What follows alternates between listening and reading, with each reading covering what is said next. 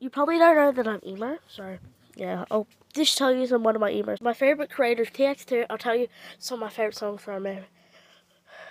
It's been two weeks since he's gotten on. He's dressed up clean, but there's a glove he forgot.